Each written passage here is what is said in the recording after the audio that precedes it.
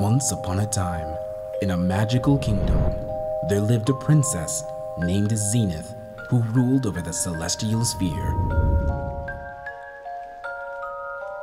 She was elegant and poised, with beautiful locks of pink and lavender. All of her subjects adored her, except for one.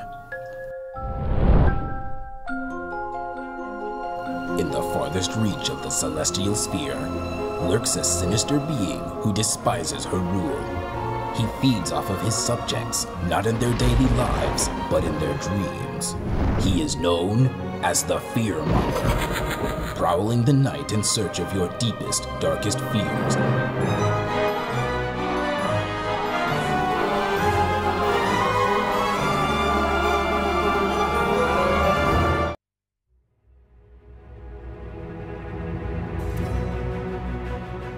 Journey with Princess Zenith as she fights to save her kingdom from her deepest, darkest fears and overthrow the Fearmonger's tyranny once and for all.